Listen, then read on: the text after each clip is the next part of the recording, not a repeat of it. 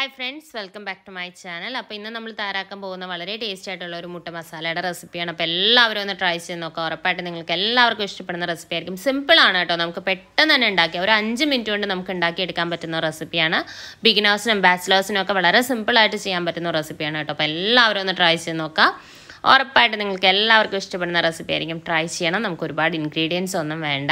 അപ്പോൾ മുട്ട കൊണ്ടുള്ള ഒരുപാട് റെസിപ്പീസ് ഞാൻ ചെയ്തിട്ടുണ്ട്. അതിന്റെയൊക്കെ ലിങ്ക് ഞാൻ വീഡിയോയുടെ ഡിസ്ക്രിപ്ഷനിൽ കൊടുത്തിരിക്കാം. അല്ലെങ്കിൽ നിങ്ങൾ പ്ലേലിസ്റ്റിൽ ഒന്ന് ചെക്ക് ചെയ്ത് നോക്കിക്കഴിഞ്ഞാൽ മുട്ട കൊണ്ടുള്ള റെസിപ്പീസിന്റെയൊക്കെ സെപ്പറേറ്റ് ആയിട്ടുള്ള വീഡിയോസ് ഞാൻ പ്ലേലിസ്റ്റ് ക്രിയേറ്റ് ചെയ്തിട്ടുണ്ട് അതുപോലെ ഇത് ഇതുപോലെയുള്ള വീഡിയോസൊക്കെ ഇഷ്ടമാകുന്ന ഫ്രണ്ട്സിനും ഫാമിലിയിലും ഒക്കെ ഉള്ളവരുണ്ടെന്നുണ്ടെങ്കിൽ വീഡിയോസ് ഒന്ന് ഷെയർ ചെയ്ത് കൊടുക്കണേ. ചാനൽ ഒന്ന് സപ്പോർട്ട് ചെയ്യാൻ പറയുക.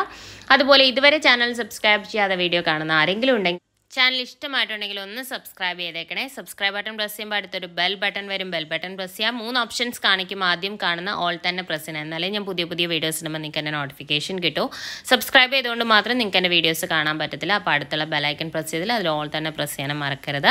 അപ്പോൾ മുട്ട കൊണ്ട് ഞാൻ ഇതുവരെ ഇട്ടിരിക്കുന്ന റെസിപ്പീസൊക്കെ കാണാത്തവർ കാണാൻ മറക്കരുത്. ലിങ്ക് ഡിസ്ക്രിപ്ഷനിൽ കൊടുത്തിരിക്കാം.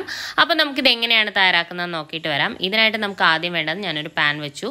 ഈ പാൻ ഒന്ന് ചൂടായി വരുമ്പോഴേക്കും നമുക്കിനകത്തേക്ക് കുറച്ച് വെളിച്ചെണ്ണ ഒഴിച്ചു കൊടുക്കാം വെളിച്ചെണ്ണ ഒന്ന് ചൂടായി വരുമ്പോഴേക്കും നമ്മളിതിലേക്ക് ചേർത്ത് കൊടുക്കുന്നത് ജീരകമാണ്. അതായത് നമ്മുടെ വലിയ ജീരകം പെരിഞ്ജീരകമാണ് നമ്മൾ ചേർത്ത് കൊടുക്കുന്നത്.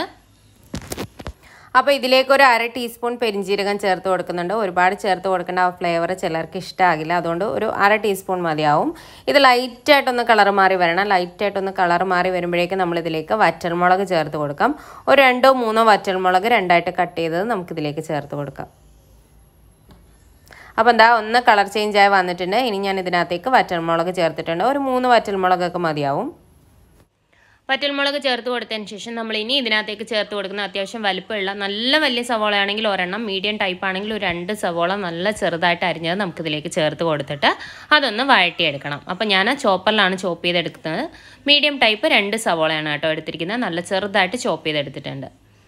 അത് ഇതിലേക്ക് ചേർത്ത് കൊടുത്തിട്ട് നമുക്ക് ആവശ്യത്തിന് ഉപ്പും ചേർത്ത് നമുക്കിതൊന്ന് വഴറ്റിയെടുക്കാം.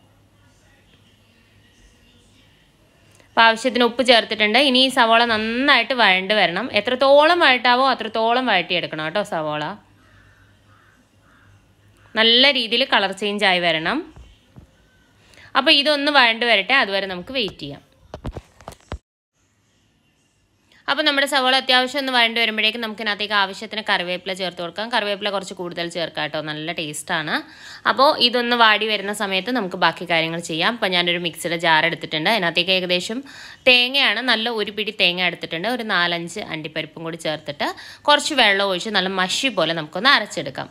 ഒരു പിടി തേങ്ങ ഒരു നാലഞ്ച് അണ്ടിപ്പരിപ്പ് ക്യാഷ്യൂനട്ട് അപ്പോൾ നമ്മുടെ സവോള അത്യാവശ്യം നല്ല പോലെ വാടിയിട്ടുണ്ട്. അതിനകത്തേക്ക് ഒരു അര ടീസ്പൂണോളം മഞ്ഞൾപ്പൊടി ചേർത്തിട്ട് ആവശ്യത്തിന് മുളക് പൊടിയും കൂടി ചേർക്കുക. എരിവിനനുസരിച്ച് മുളക് പൊടി ചേർത്ത് കൊടുക്കുക. അതങ്ങ് ഒരുപാട് എരിവ് വേണ്ട അത്യാവശ്യം എരിവ് മതി. ഞാനിപ്പോൾ ഒരു അര ടീസ്പൂൺ ചേർത്തിട്ടുണ്ട്. നിങ്ങളുടെ എരിവിനനുസരിച്ച് ചേർത്ത് കൊടുക്കാം. എന്നിട്ട് ആ പൊടികളുടെ ആ ഒരു പച്ചച്ചുവ ഒന്ന് മാറി വരുമ്പോഴേക്കും ഇതിനകത്തേക്ക് ഒരു ടീസ്പൂൺ ഇഞ്ചി വെളുത്തുള്ളി പേസ്റ്റ് കൂടി ചേർത്ത് കൊടുത്തിട്ട് ആ പൊടികളുടെ പച്ചമണവും നമ്മുടെ ആ ഇഞ്ചി വെളുത്തുള്ളി പേസ്റ്റിന്റെ ആ ഒരു പച്ച സ്മെല്ലും എല്ലാം ഒന്ന് മാറി വരട്ടെ. ഫ്ലെയിം നന്നായിട്ട് കുറച്ച് വെച്ചിട്ട് ചെയ്യണം കേട്ടോ ഈ സമയത്തൊക്കെ. ഒരു ടീസ്പൂൺ നിറച്ച് ചേർക്കണം ഇഞ്ചി വെളുത്തുള്ളി പേസ്റ്റ് ഇനി അതിന്റെ ആ ഒരു പച്ചച്ചുവ ഒന്ന് മാറി വരുമ്പോഴേക്ക് നമുക്കതിനകത്തേക്ക് നമ്മൾ മല്ലിപ്പൊടി ചേർത്ത് കൊടുത്തിട്ടില്ല. ഇനി നമുക്കതിനകത്തേക്ക് മല്ലിപ്പൊടി ചേർത്ത് കൊടുക്കാം. ഒരു ഒന്നര ടീസ്പൂണോളം മല്ലിപ്പൊടിയാണ് നമ്മളിതിലേക്ക് ചേർത്ത് കൊടുക്കുന്നത്. ഇനി ആ മല്ലിപ്പൊടിയുടെ കൂടെ നമ്മൾ ഒരു നുള്ള് ജീരകപ്പൊടി അതായത് ചെറിയ ജീരകം വറുത്ത് പൊടിച്ച പൊടി ഒരു നുള്ള് ചേർത്ത് കൊടുത്താൽ മതി. ഒരുപാട് ചേർക്കണ്ട. അതിന്റെയും ഒരു പച്ചരപ്പിന്റെ ആ ഒരു പച്ച സ്വാദൊന്നും മാറിക്കഴിയുമ്പോഴേക്കും നമുക്കിനകത്തേക്ക് മീഡിയം വലുപ്പത്തിലുള്ള ഒരു തക്കാളി കട്ട് ചെയ്തിട്ടിട്ട് ആ തക്കാളി നന്നായിട്ടൊന്ന് ഉടഞ്ഞു വരുന്നവരെ നമുക്ക് വെയിറ്റ് ചെയ്യാം. തക്കാളി നന്നായിട്ട് ഉടഞ്ഞൊന്ന് സോഫ്റ്റായി വരണം. നന്നായിട്ട് ഇളക്കി യോജിപ്പിച്ച് കൊടുക്കുക. അപ്പോൾ എന്താ നമ്മുടെ തക്കാളിയൊക്കെ നല്ലപോലെ ഒന്ന് ഉടഞ്ഞ് സോഫ്റ്റായി വരുന്നുണ്ട്. ഈ ഒരു സ്റ്റേജിൽ നമുക്കിനകത്തേക്ക് വെള്ളം ഒഴിച്ചു കൊടുക്കാം. ഏകദേശം ഒരു ഒരു ഗ്ലാസ്സോളം വെള്ളം ഒഴിച്ചു കൊടുക്കുന്നുണ്ട്. ചൂടുവെള്ളം ഒഴിക്കുന്നതാണ് കൂടുതൽ നല്ലത് കേട്ടോ. ചൂടുള്ള വെള്ളം ഒഴിച്ചു കൊടുക്കുക. ഇനി ഇത് നന്നായിട്ടൊന്ന് ഇളക്കി യോജിപ്പിച്ച് കൊടുക്കുക. ഉപ്പ് ആവശ്യത്തിന് വേണമെന്നുണ്ടെങ്കിൽ ചേർത്ത് കൊടുക്കണം. നന്നായിട്ടൊന്ന് ഇളക്കി യോജിപ്പിക്കണം. ഉപ്പ് എരിവൊക്കെ നോക്കുക. എക്സ്ട്രാ വേണം എന്നുണ്ടെങ്കിൽ ചേർത്ത് കൊടുക്കുക. ഇനി ഇത് തിളച്ചിട്ട് ഇപ്പോൾ സ്വല്പം കൂടി ഞാൻ വെള്ളം ചേർത്ത് കൊടുത്തിട്ടുണ്ട്. ഒരു കാൽ ഗ്ലാസ് കൂടി കേട്ടോ. ഇനി ഇത് തിളച്ച് നന്നായിട്ടൊന്ന് എണ്ണയൊക്കെ ഒന്ന് തെളിഞ്ഞ് വരട്ടെ. ഫ്ലെയിം ഒന്ന് കുറച്ച് വെച്ചിരുന്നാൽ മതി. അപ്പോൾ എണ്ണയൊക്കെ തെളിഞ്ഞ് വരുന്ന ആ ഒരു സ്റ്റേജ് ആകുമ്പോഴേക്കും നമുക്കിനകത്തേക്ക് നമ്മൾ അരച്ച് വെച്ചിരിക്കുന്ന തേങ്ങയുടെ കൂട്ട് ചേർത്ത് കൊടുക്കാം. ഫ്ലെയിം നന്നായിട്ട് കുറച്ച് വയ്ക്കുക ആ എണ്ണയൊക്കെ ഒന്ന് തെളിഞ്ഞ് ഒന്ന് കുറുകി വരണം. ആ ഒരു സ്റ്റേജിൽ വേണം നമ്മൾ അരച്ച് വെച്ചിരിക്കുന്ന നമ്മുടെ തേങ്ങയുടെയും കാഷ്യൂനട്ടിന്റെയും ആ ഒരു കൂട്ട് ഇതിലേക്ക് ചേർത്ത് കൊടുത്തിട്ട് ഒന്ന് ഇളക്കി യോജിപ്പിച്ച് കൊടുക്കുക. ആ മിക്സിയുടെ ജാറ് തന്നെ കഴുകി കുറച്ച് വെള്ളം കൂടി ഞാൻ ഒഴിക്കുന്നുണ്ട്. വെള്ളം നിങ്ങളുടെ കൺസിസ്റ്റൻസിക്ക് അനുസരിച്ച് ചേർക്കുക. ഒരുപാട് അങ്ങ് ലൂസാവാനും പാടില്ല ഒരുപാട് അങ്ങ് തിക്കാവാനും പാടില്ല. കാരണം ഇരിക്കുമ്പോൾ ഇതൊന്നുകൂടി കുറുകും. നമ്മൾ തേങ്ങയും കാഷ്നട്ടൊക്കെ അരച്ച് ചേർക്കുന്നതാണല്ലോ. അപ്പോൾ അത്യാവശ്യത്തിന് നിങ്ങൾക്ക് എത്രത്തോളം കൺസിസ്റ്റൻസി വേണോ അതിനനുസരിച്ച് വെള്ളം ചേർത്ത് കൊടുക്കാം. ഞാനിപ്പം ഒരുപാട് വെള്ളം ചേർത്തിട്ടില്ല. എന്നാലും അത്യാവശ്യം ഞാൻ ലൂസാക്കിയിട്ടാണ് എടുത്തിരിക്കുന്നത്. ഒരു അര ടീസ്പൂൺ ഗരം മസാല കൂടി ചേർത്ത് കൊടുത്തിട്ട് നന്നായിട്ടൊന്ന് ഇളക്കി യോജിപ്പിക്കാം. ഏകദേശം ഒരു എട്ട് മുട്ട വരെയൊക്കെ നമുക്ക് ഇതിനകത്ത് യൂസ് ചെയ്യാം കേട്ടോ. നല്ല ടേസ്റ്റുള്ള റെസിപ്പിയാണ്. ഇപ്പോൾ ചോറിന്റെ കൂടെ ആണെങ്കിലും നമുക്ക് എന്തിന്റെ കൂടെ ദോശയാണ് ഇഡലിയാണോ അപ്പം ചപ്പാത്തി അങ്ങനെ എന്തിന്റെ കൂടെ വേണമെങ്കിലും ഉപയോഗിക്കാൻ പറ്റുന്ന ഒരു മുട്ടക്കറിയാണ് കേട്ടോ.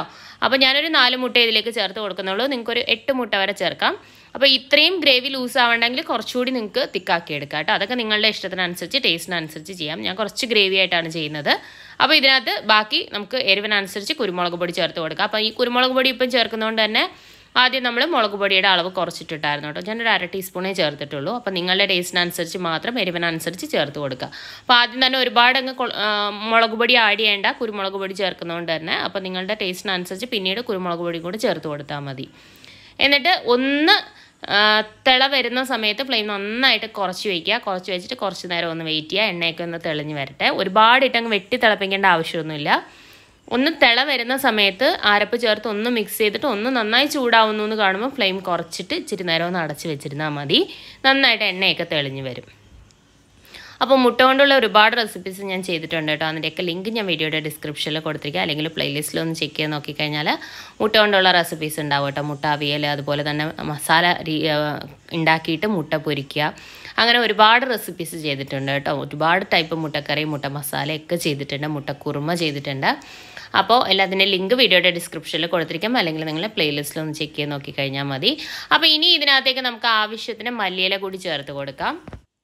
അരപ്പ് ചേർത്ത് ഒന്ന് ചൂടായി വരുമ്പോൾ ഫ്ലെയിം നന്നായിട്ട് കുറച്ച് വെച്ച് കുറച്ച് നേരം ഒന്ന് അടച്ച് വെച്ച് കഴിഞ്ഞാൽ എണ്ണ തെളിഞ്ഞ് വരും. എണ്ണ തെളിഞ്ഞ് വരുന്ന സമയത്ത് നമുക്ക് കുറച്ച് മല്ലിയില കട്ട് ചെയ്ത് കൂടി ചേർത്തിട്ട് നമുക്ക് ഫ്ലെയിം ഓഫ് ചെയ്യാം. ഒരുപാട് നേരം ഇട്ട് ചൂടാക്കി വെട്ടി തിളപ്പിച്ചെടുക്കേണ്ട ആവശ്യമൊന്നുമില്ല. അരപ്പ് ചേർത്താൽ പിന്നെ ഒരുപാട് തിളപ്പിക്കേണ്ട കേട്ടോ. അപ്പോൾ അത്രയേ ഉള്ളൂ. വളരെ ടേസ്റ്റി ആയിട്ടുള്ള നമ്മുടെ മുട്ടക്കറി ഇവിടെ തയ്യാറായിട്ടുണ്ട്. നല്ലൊരു ടേസ്റ്റാണ് ഒരു പ്രത്യേക ഫ്ലേവറാണ് കേട്ടോ. നിങ്ങളൊന്ന് ട്രൈ ചെയ്ത് നോക്കുക. സിമ്പിളാണ് നമുക്ക് പെട്ടെന്ന് ട്രൈ ചെയ്തെടുക്കാൻ പറ്റും. എന്നാൽ നല്ല ടേസ്റ്റുള്ള റെസിപ്പിയാണ് ആ ഒരു മസാലക്കൂട്ടെല്ലാം കൂടെ ചേരുമ്പോൾ തന്നെ ഒരു പ്രത്യേക സ്വാദാണ് കേട്ടോ. നിങ്ങൾ ട്രൈ ചെയ്യുക. ട്രൈ ചെയ്താൽ തന്നെ എന്റെ ടേസ്റ്റ് നിങ്ങൾക്ക് മനസ്സിലാവും. ട്രൈ ചെയ്തിട്ട് എങ്ങനെയുണ്ടായിരുന്നു എന്ന് ഫീഡ്ബാക്ക് അറിയിക്കാൻ മറക്കരുത്. ഇതുപോലെയുള്ള റെസിപ്പീസൊക്കെ ഇഷ്ടമാകുന്ന ഫ്രണ്ട്സിനും ഫാമിലിയിലും ഒക്കെ ഉള്ളവരുണ്ടെന്നുണ്ടെങ്കിൽ വീഡിയോസ് ഒന്ന് ഷെയർ ചെയ്ത് കൊടുക്കുക. ചാനൽ ഒന്ന് സപ്പോർട്ട് ചെയ്യാൻ പറയാം. അതുപോലെ ഇതുവരെ ചാനൽ സബ്സ്ക്രൈബ് ചെയ്യാതെ വീഡിയോ കാണുന്ന ആരെങ്കിലും ഉണ്ടെങ്കിൽ ചാനൽ ഇഷ്ടമായിട്ടുണ്ടെങ്കിൽ ഒന്ന് സബ്സ്ക്രൈബ് ചെയ്തേക്കണേ. സബ്സ്ക്രൈബ് ബട്ടൺ പ്രസ് ചെയ്യുമ്പോൾ അടുത്തൊരു ബെൽ ബട്ടൺ വരും. ബെൽ ബട്ടൺ പ്രസ് ചെയ്യാം. മൂന്ന് ഓപ്ഷൻസ് കാണിക്കും. ആദ്യം കാണുന്ന ഓൾ തന്നെ പ്രസ് ചെയ്യണം. എന്നാലേ ഞാൻ പുതിയ പുതിയ വീഡിയോസിന് നിങ്ങൾക്ക് എന്റെ നോട്ടിഫിക്കേഷൻ കിട്ടും. അപ്പോൾ മറ്റൊരു വെറൈറ്റി വീഡിയോ ആയിട്ട് നമുക്ക് വീണ്ടും കാണാം. Thank you friends thank you for watching